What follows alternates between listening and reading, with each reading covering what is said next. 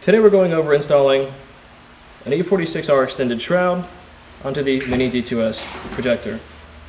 The first thing you'll want to do is take your alcohol pad and clean around the surface of the projector on the outside black rim like this.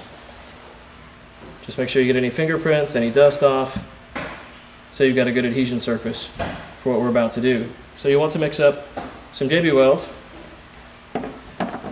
You want to put that on the inside of the shroud here, because we're going to use that to adhere the centric ring on the inside of the shroud.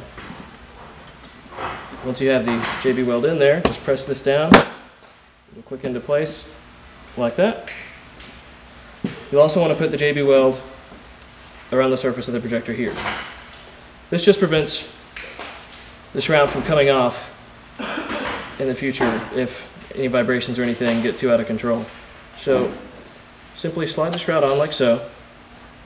Make sure it's flush with the projector and you're good to go. You want to make sure you take a microfiber cloth like this and clean off any fingerprints that you got on during installation as well before you seal the headlights up.